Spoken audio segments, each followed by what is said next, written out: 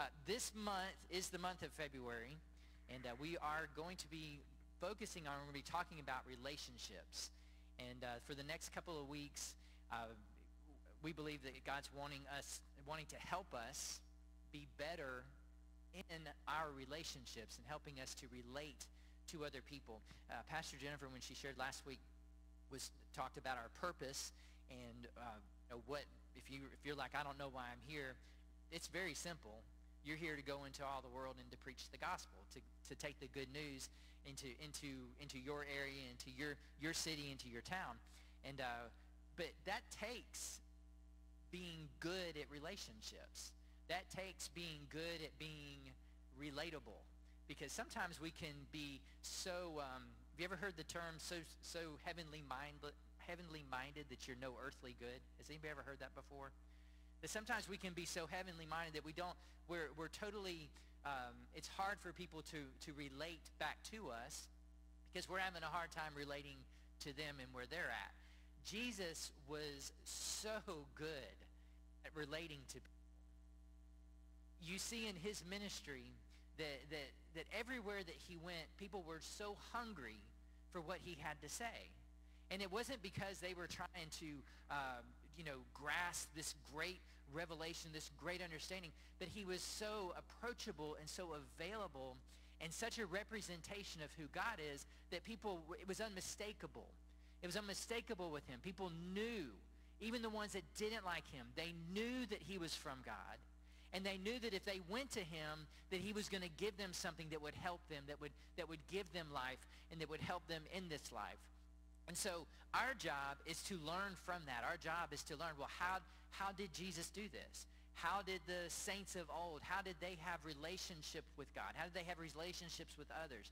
And if we, as we learn about this, as we, as we study this, and as we make this a part of our lives, we become better at it, and uh, actually uh, we're more effective in, the, in, the, in our time of living while we're here on this earth. Amen? Amen. Let's go to, um, I want to go, I want to start off this morning in 1 Corinthians.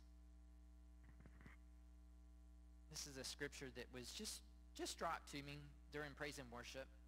1 Corinthians chapter 6, verse 19 and 20 says, Don't you realize that your body is the temple of the Holy Spirit? This is the New Living Translation.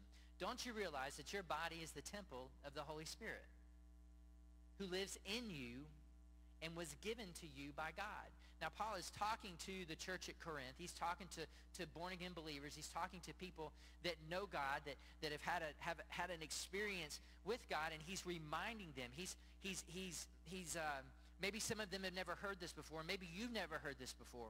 But when you have been, when you give your life to Jesus, when you say, Jesus, you are my Lord, when you say, Jesus, you are my Savior, the Bible here tells us that we are now the temple of the Holy Spirit. That means that the Holy Spirit, which is part of God, lives in you. Now, we don't talk about temples. I don't invite you guys to my temple, right?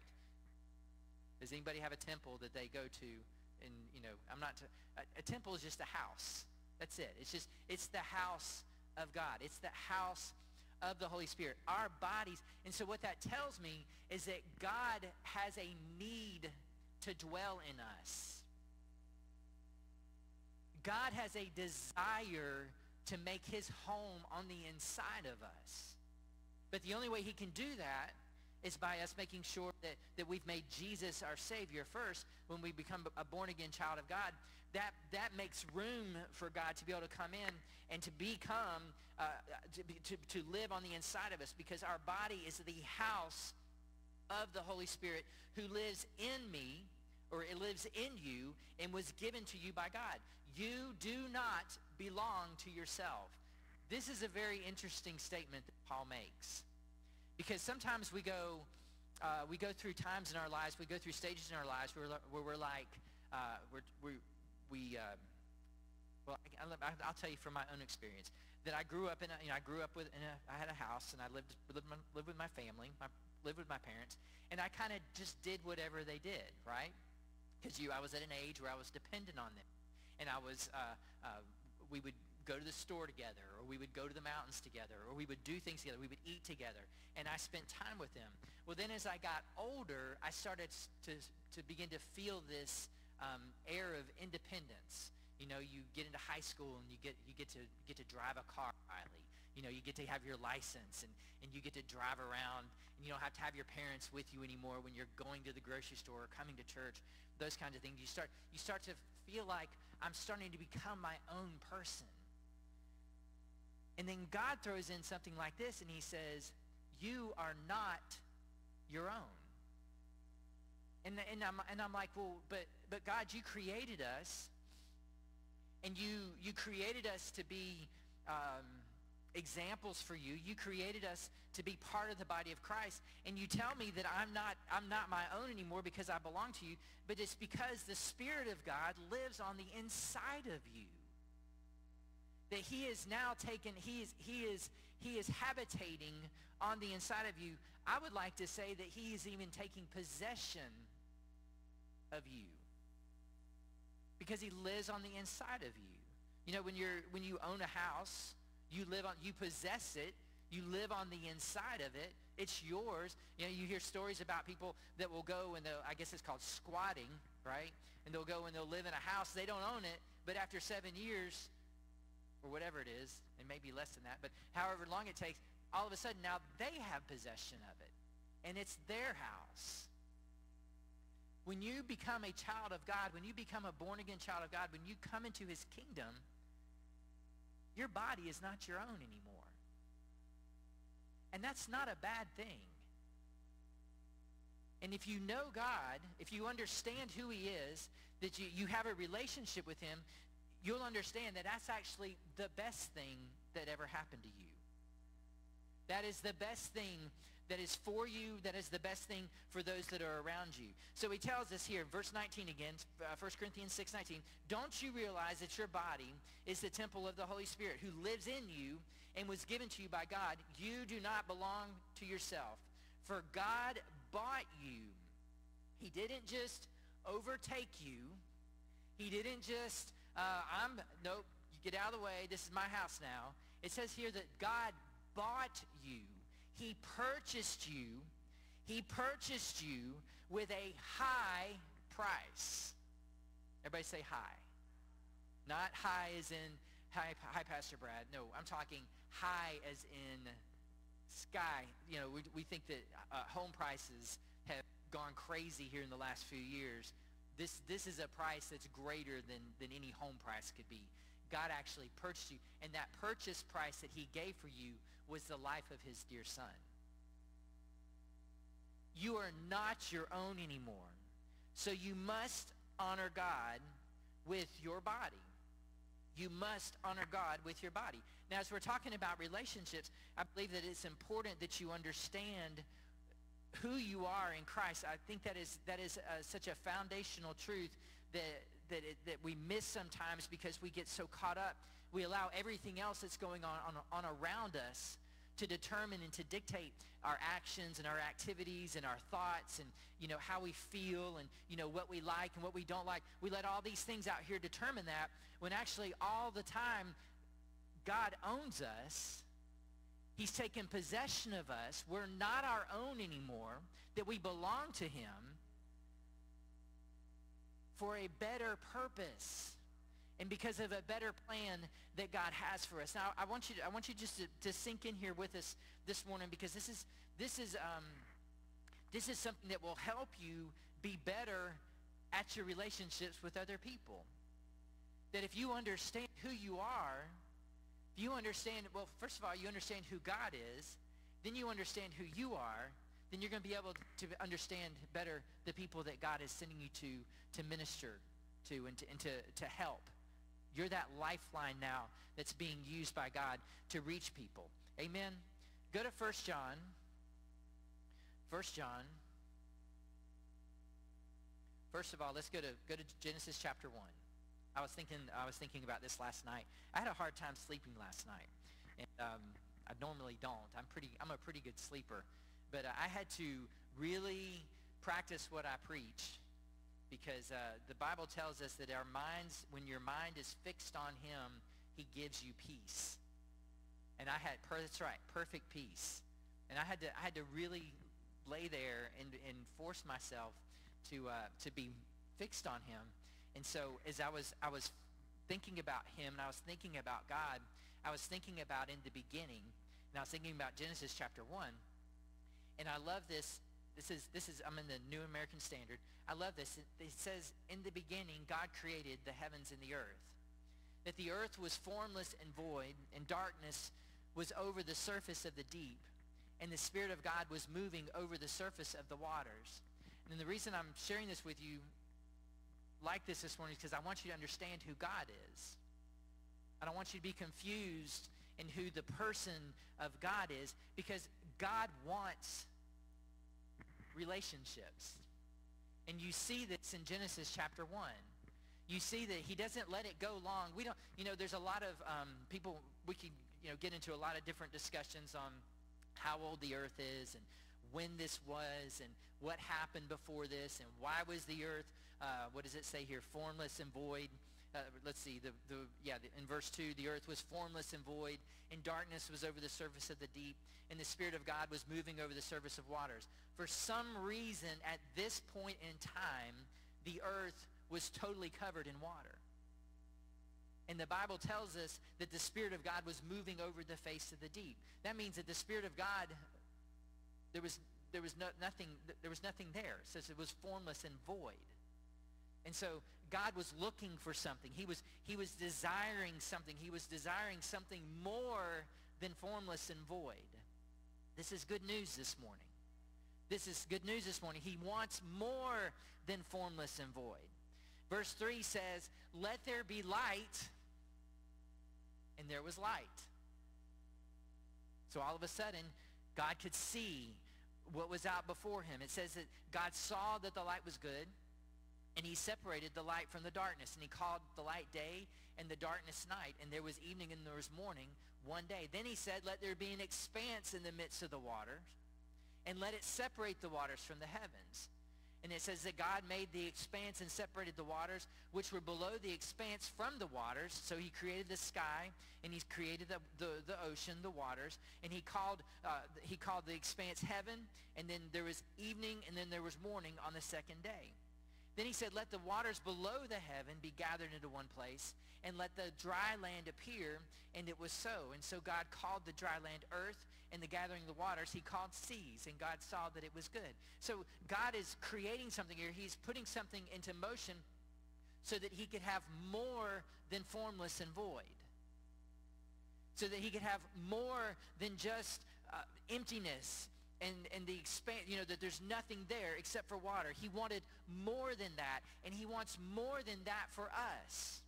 He wants more than that for us. He wants us to have more than that. Verse 11 says, he, or I'm sorry, verse 10 says, he, called the dry land earth, and the gathering the waters he called seas.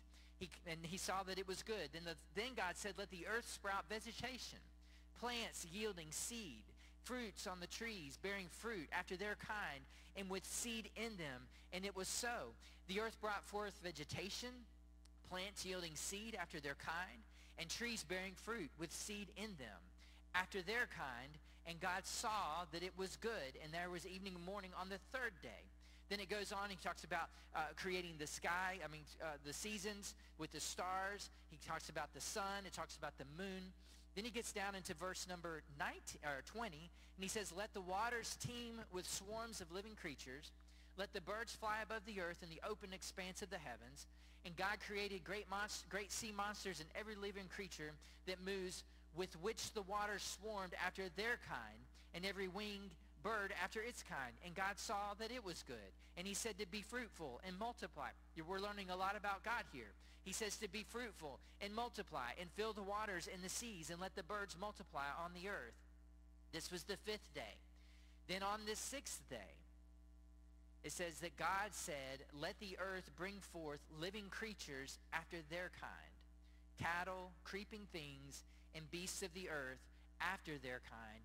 And it was so. Then he said in verse 26, everybody say then. Then, after he made the animals, the, the creepy crawly things walking on the earth, he said, then let us make man in our image, according to our likeness, and let them rule over the fish of the sea and over the birds of the sky, over the cattle, over all the earth, over every creeping thing that creeps on the earth. Verse 27 says, God created man. Everybody say, and woman. All right. God created man and woman in his own image. In the image of God, he created them. Male and female, he created them. God blessed them and said to them, Be fruitful and multiply and fill the earth and subdue it and rule over the fish of the sea and the birds of the sky and over every living thing that moves on the earth. And so as I was thinking about this, I'm thinking about, well, God, God has, he got the earth to a point to where it could support you and me. He didn't just, uh, I'm hovering over the face of the deep, and on the first day create man and, and male and female. It took it took some some uh, some things had to be put in place, put in motion, so that male and female could be supported. Because that's how God works. God does things to help us, to support us, because he doesn't want formless and void. And he wants us to be fruitful and to multiply. Now, this is God in Genesis chapter 1. Go with me to God. Go, to, go with me. Go with me as we look at God in John 3. John chapter 3. John chapter 3. Now, y'all know that you know, we're reading the, uh, the Old Testament and the New Testament right now, and we're in the middle of, um, actually, we're not in the middle of it. I guess we are in the middle of it. The, the children of Israel have been brought out of Egypt, and um, we're starting to see God do some things.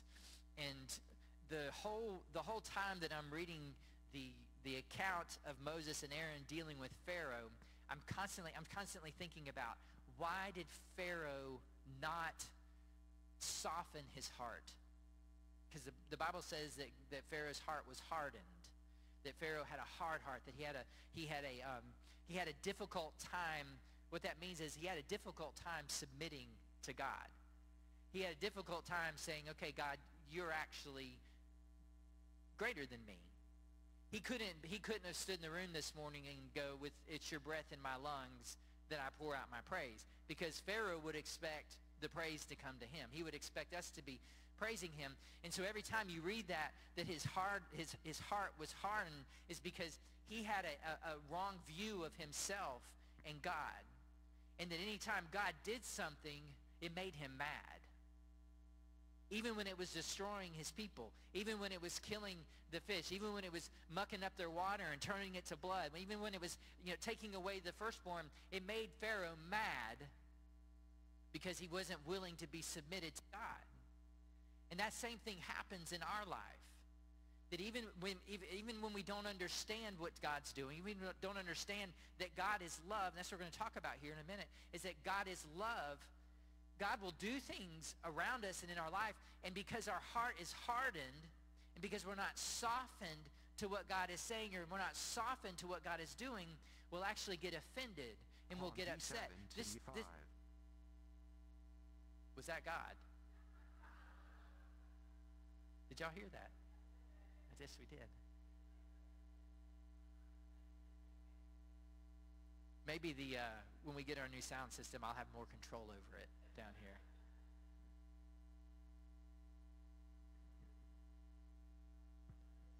Praise the Lord. But this will help you understand why sometimes people are offended at the, the speaking of the gospel. They're offended at the living of the gospel because they don't, they don't, they don't want to submit themselves to what the gospel is truly, is truly about and what God is tr- truly doing. John 3, John chapter 3, we see, we see God here. And this is a scripture that we all know, and we've, we've talked about this uh, many times recently. It says that for God so loved, everybody say love. For God so loved the world that he gave his only begotten son, that whoever believes in him shall not perish, but have eternal life. Go with me to 1 John chapter 4. 1 John chapter 4. I hit these two I hit these two scriptures here because uh, these are written by John, and John had this revelation of God because he had spent time with Jesus in such a way that he walked away from Jesus and he was able to say, I'm the disciple that Jesus loved. Now that wasn't just a uh, Jesus just loved John, but John had a revelation of that. He, he, it, that had been revealed to him in some sort of manner that he could walk away and go, Jesus loves me. Jesus cares about me. Jesus wants me to be around. Jesus is inviting to me. He, he wants me to be in a place where, where we can be together. Jesus wants a relationship with me. And it doesn't change. God doesn't change. Here he says in 1 John chapter 4, verse 7, he says, Beloved, let us love one another, for love is from God. Love is from God, and everyone who loves is born of God and knows God. The one who does not love does not know God, for God is love.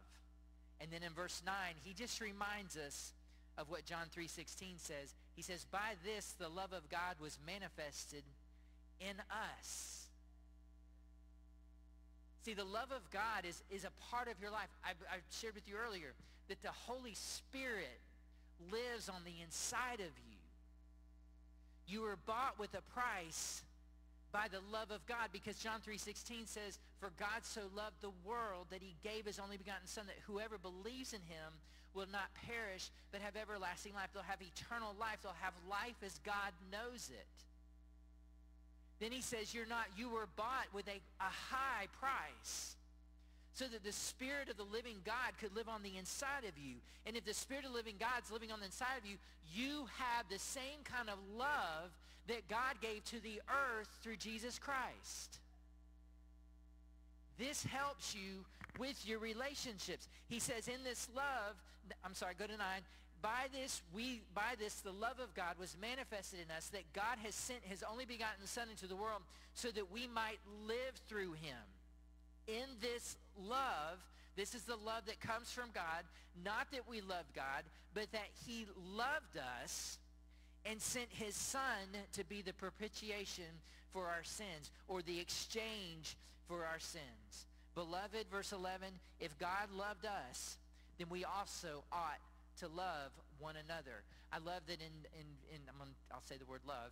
I love that in uh, that Jesus tells the disciples, you know, they're asking him, which one of the commandments do we need to obey? And which one, you know, which one's greater? And how do they need to weigh in our life? And he's like, listen, there's two commandments. One is that you love God with all your heart, with all your soul, with all your strength, and that you love your neighbor as yourself.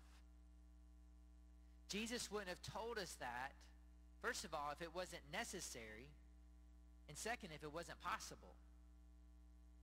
Because since you have the Spirit of God on the inside of you, you have the love of God on the inside of you. Now, the love of God is not a, is not a love that we're nor, we normally um, that we're used to talking about, that we're used to thinking about. The love of God here is called agape. And uh, agape is the God kind of love, is how in the Christian circles we'll, we'll call it the God kind of love. But it is a, it is a love that is, um, doesn't require anything of the receiver. So in a relationship, when, you, when you're in a relationship with somebody, you are giving something to them, and you're also taking something from them that it is a, it's, a, it's like a, a 50, hopefully it's a 50-50 type relationship that you're actually sharing, you're actually sharing this uh, bond with somebody else. So you have a relationship with God because of Jesus. Now all of a sudden, his love becomes your love because he's giving us his love. And the way that we give back to him, listen, and this is important because in a relationship, it's not all, it's not all take. It's not all, it's not all, well, what can you do for me, God? I need, I need this, I need this, I need my groceries, I need my bills, I need my, I need my house, I need my car, I need my, you know, my kids are a mess and all this other stuff and I'm, and I'm just having a hard time and, you know, God, God, God, this, this, this, me, me, me. And you're, there's no relationship there. And I would say 99% of the time, you've got no love because you're not given anything back to him for him to work, work with or to work through. So in a relationship, it's important that you realize that it is a it is a, a, a one-to-one. It is a, it is the state. This is the definition of relationship or to relate to somebody else. It's the state of being mutually or reciprocally interested. Mutually or reciprocally interested. That means uh, pastor jennifer and i are married and in in june we will have celebrated 28 years of marriage is that right no 29 we already hit 28. So in June, we'll hit 29 years of marriage. Well, we have had to be, uh, to reciprocate time. We've had to reciprocate feelings. We've had to reciprocate conversations. We've had to be in a place where we could, we were mutually sharing the task of raising our children, of taking care of our house, of doing, that comes from God. That's not a man-made, you know, uh, Adam and Eve, who were the first, they were the first uh, relationship that we see, human relationship on the earth.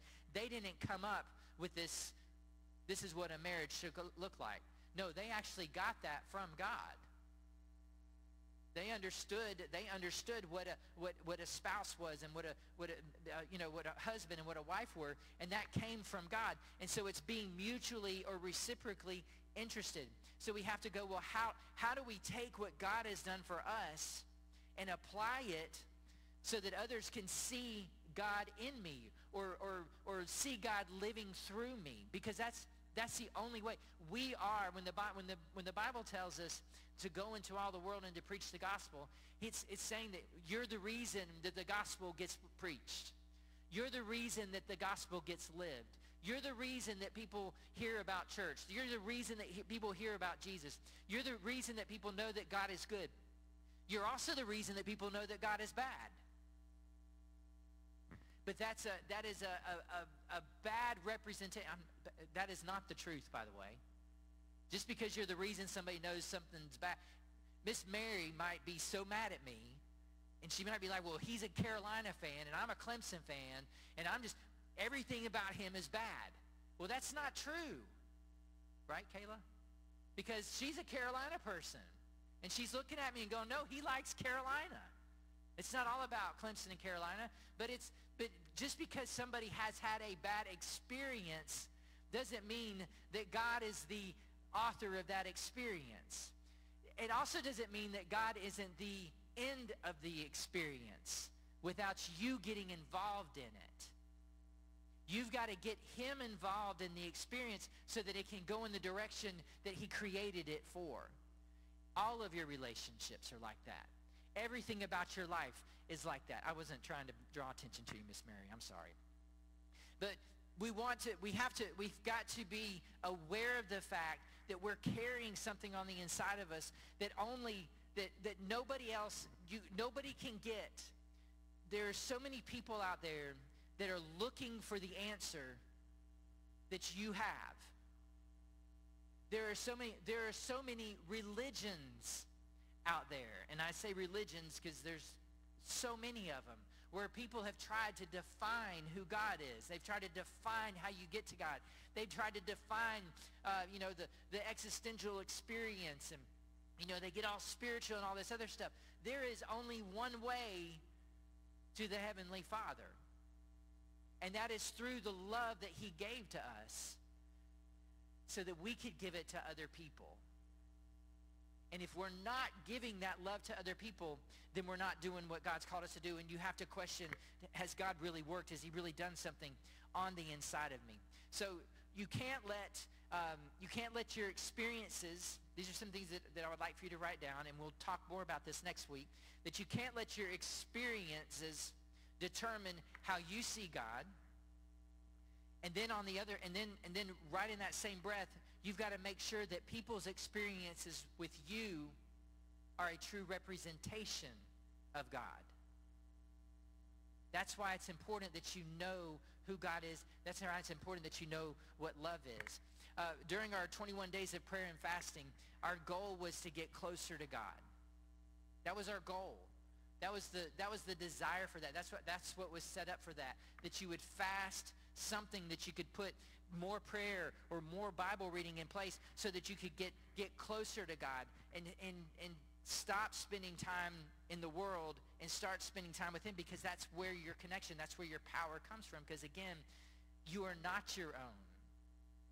That you were bought with a price, a high price and that the Spirit of the living God lives on the inside of you.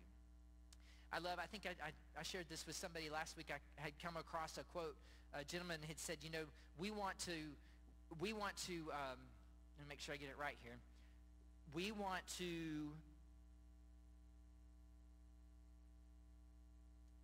we want to push the will of God aside. This is going to be in my words. This isn't how it was said.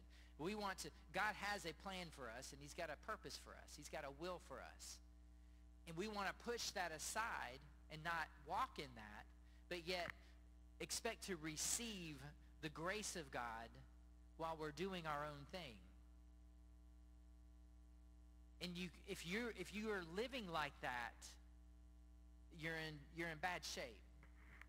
And you're you're heading you're heading a direction that you weren't created to go. I shared uh, Wednesday night, and I've shared with you before, that we weren't created. When the Bible tells us that we were made in the image of God, that word image means that like we are a, a, a copy of God. We're a copy of the Father, the Son, and the Holy Spirit. We're a, a three. There's three parts to us.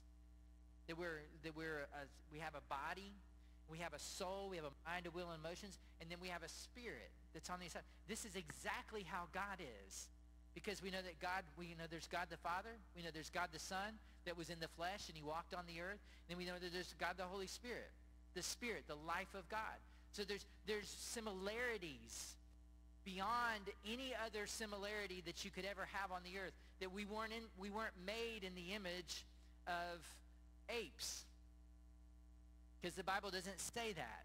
We were made in the image of of God. And so God didn't create us. See, God can't be around sin. And so when he created us, we weren't created originally to be around sin or to, to house sin or to have sin working in our lives. And so we've got to, that's, that's part of what we have to work through. Let's see, what time are we? 1143. All right.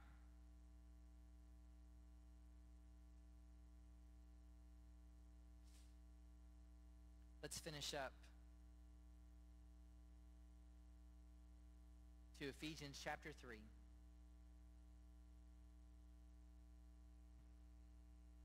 Ephesians chapter 3. No, let's do this. I'm sorry. Go to 1 Corinthians 13. 1 Corinthians 13. This is, uh, this is known as the love chapter. This is Paul again. He's writing to the church at Corinth, and he's trying to help them understand how they're supposed to be living, the things that, that they're supposed to be showing that, that this is the fruit that should be being bared in their life or being bore in their life. I'm sorry, being bore in their life.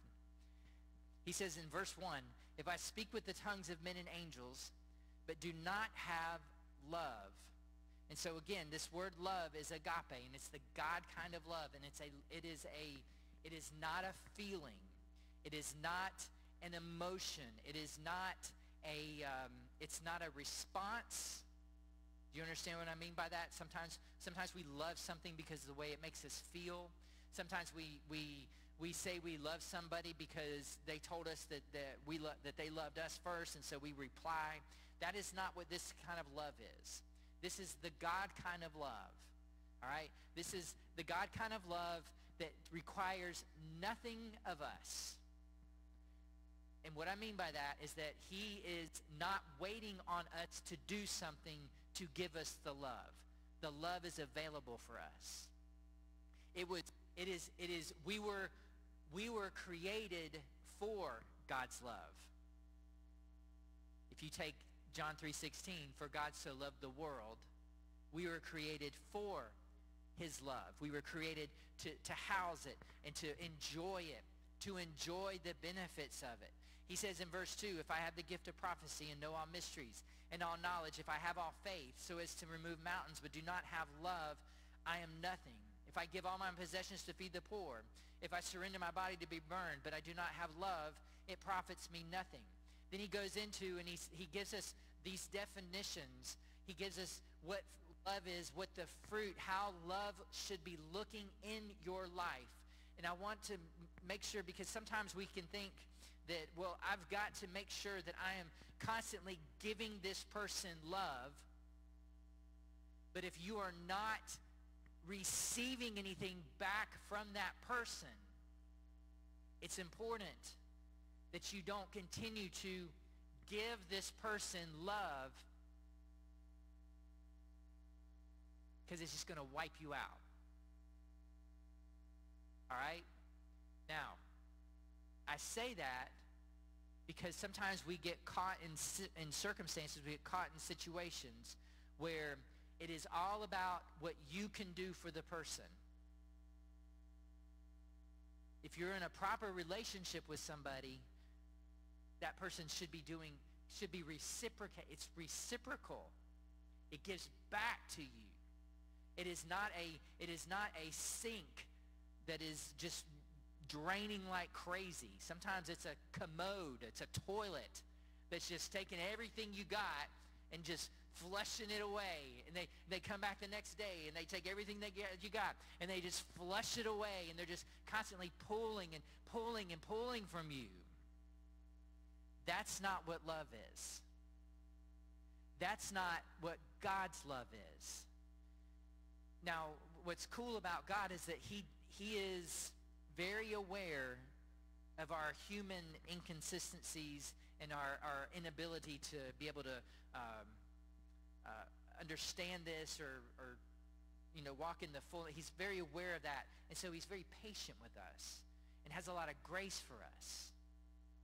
But if you're one of those people that only looks to God and never is looking to give back to him, it's going it's going to wear out. You're to you'll burn out. You'll burn out. Your relationship with God will burn out and you'll have a, a, a negative experience with him. He says here in verse 4, he says, love is patient. Love is kind. It's not jealous. It does not brag. It's not arrogant. It's not unbecoming. It does not seek its own. It's not provoked. It does not take into account a wrong suffered. It does not rejoice in unrighteousness, but rejoices with the truth. It bears all things, it believes all things, it hopes all things, and endures all things. If you're in a relationship with somebody that, that you're, you are giving and giving and giving, you're giving this to them, and you're not in a, in, in a relationship with somebody else that is able to, to help you, strengthen you, if you're not in relationship with God, it will run out very quickly. But you've got to be surrounded too with others of like faith, other believers, because we help each other through stuff. I'm not saying that you don't ever help somebody out that needs help. What I'm saying is don't just get so consumed in somebody's life that all you're willing to do, and this is even for this is even for family. This is even for family. That you can't that you can't just be all of us everything I'm just pouring everything I can because I just I just want this relationship to work so bad. And you're not getting anything back from it. You're not getting, getting any life back from it. No no pulse of some sort. Then you you've got to step away from it. You've got to step away and you've got to you've got to get back into the the house of God. You've got to get back with the family of God. But you've got to make sure that you're spending time with God. You can't give something that you don't have. You can't be something that, that's not sustainable on the inside of you. And only God can sustain that. Only God can give you that. So I, I just, I, I, I want to encourage you with this because it is important and it's part of, it's part of having relationships with people. Some people will abuse you. Some people will, will take from you. They'll take, the, the relationship is just a constant pull. But there's a whole lot of people out there that want to give back into you. a whole lot of people that want to get back into. You. So these things that Paul is talking about of what love is, it's important. This is these are things that are they're already in you. We've talked about this. We just said it recently, just said it just a few minutes ago. That the love of God is inside of you because the Spirit of God is on the inside of you. And so these things are there. These aren't things that you have to learn how to do. They're not things that you have to, you know, read a book and go, okay, seven steps to be more patient. That's not necessary. You have patience. You have kindness. You're not jealous. These are things that are, they're part of your makeup. They're part of who you are. Verse number, verse number six, again, I'm sorry, verse seven says, bears all things, believes all things, hopes all things, and endures all things. Verse 8 says, love never fails. Love never fails. So as we're, as we're, as we're walking through this month and we're talking about different relationships, next week we're going to talk more about how, how, we, how, we, how we actually have relationships with people. That there are healthy ways to have relationships with people. And as long as God is the center of the relationship, your relationship with that person will get stronger in the right way. As long as it's as long as it's the foundation is. I had a friend tell me one time that he was I can't remember uh, one of his professors was telling him that if both if both individuals are looking at God, at the closer they get to God, then the closer they're going to get together, and their their their relationship will get stronger because it gets closer because they're both heading towards God. The people in your life that are the most important, the most significant, if you're married, that's your spouse. You know, if you're, if you're, if you're a kid, if you're a child, it's your parents, it's your siblings. You all need to be heading the, the same direction.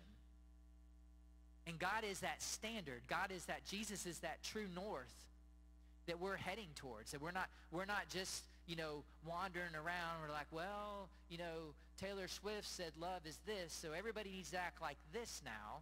Or, you know, Beyonce said love is this, and now we all need to act like Beyonce now. You know, I mean, that's that's how the world is. The world is constantly this is this is how you love, and this is this is what love looks like. No, God is love.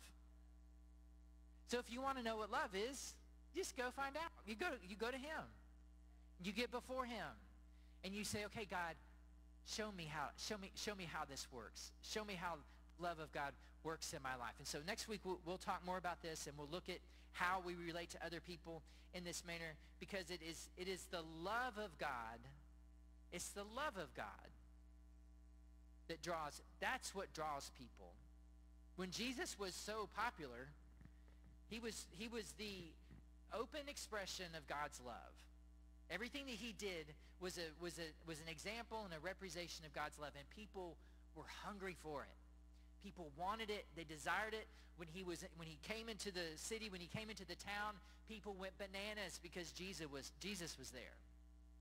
Because they knew they, they were going to get something from God. And that's the same. It should be the same way with us. People should be excited to see us. And so we'll, we'll talk about this more next week and look at how love can affect us this way. Amen. Let's all stand. God is so good. And he wants us to be so good at showing off his love. He wants us to be so good at, at, at, our relationships with people. He wants us to be so good with our, our the way we deal with circumstances, the way we deal with people, uh, situations in life. He doesn't want us, I mean, he took the earth and, and was like, I don't want it formless and void. I mean, and everything about it was, was for us. And so that he could have a relationship with us, so that he could spend time with us. I love when you're reading in Genesis chapter 3 and, and he's talking, or it's, you know, it goes through the account of Adam and Eve eating of the fruit and, and you know, and all of a sudden they knew they were naked and, and they knew that they had sinned. They knew they had done something wrong. And, and so they were like trying to cover themselves up. The Bible says that God was looking for them. And that he said, he asked them, he's like, what have y'all done? You know, some, sometimes people will go, could, could take that, they could interpret it and be like, what have you done? But that's not the, that's not the spirit that God was using. He's like, what have you done? I gave you all of this. I gave you, I gave you, I gave you everything that you needed to sustain your life. You have a relationship with me. What have you done? Because God knew at that point that it was it was all different. It was all changed.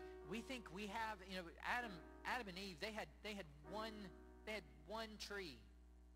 One tree. That's it. They had one distraction in their life. One thing to get their eyes off of God. Just one. And it took, I don't know, I mean, I wish we knew how many days it was. It doesn't tell us. Did not take very long. But aren't you thankful that we live in a time period? See, Jesus came so that we would have grace, so that we would have opportunity to change, so that we would have opportunity to, to make it right with God and to get right with God and to, you know, to say, okay, I made a mistake here, God. I ask you, forgive me. Well, because of Jesus, we can do that. Because we have so many more distractions to get our eyes off of who God is and what God has for us and what God wants for us. Adam and Eve, they had one, had one tree. All they had to do was just avoid the tree. Put the yellow police line tape around it. Like, stay away. They didn't. They, So as, as, we're, as we're closing this morning, I do, I want you to consider the things that are keeping you from not seeing God clearly. We know from the Word, we know from Scripture that God is love. We know that love comes from God. We know that every, everyone that loves is born of God and knows God. So we know that, that God is that center. He's that source of love and that love is not a it's not a it's not a perverted thing it's not a it's not a feeling love is not a sexual thing love is not um, I, I think I, I need to say this God doesn't hate anything that there there's sometimes in our life we get we'll get mad and we'll say that I hate something the love of God doesn't hate that's not that's that's not part of God. God hates sin. Make sure that's clear. I'm saying anything he created. He doesn't hate anything he created, but he hates sin. And so that is that is love is defined in that way. It's pushing sin away and, and getting away from it, not allowing it to, to, to wreak havoc in your life. So as, as, we're, as we're closing this morning, I want you just to, just to ask God, just be, be, be open and be pure with him. Just ask him, God, what, what are the things? One thing. Help me to see one thing in my life that, that, that is keeping me from, from seeing what the love of God is or from understanding what the love of God or, or what is keeping me from acting like the love of God acts. Father, I ask you to show us this morning. Father God, there's I know there's I know I have um, different attitudes, different thoughts that will get in in, in my way, in my path of your perfect love because because what it does is it robs me from my peace that I know comes from you. And so, Father God, I ask you just to, to help me, help me to, to deal with that, to work through that. Father God, help me to rise above it. And Lord, to continue to, to look to you as the author and the perfecter and the finisher of my faith. Father, I ask you to help all of us this morning. If there's anybody here that would like prayer this morning, we've got people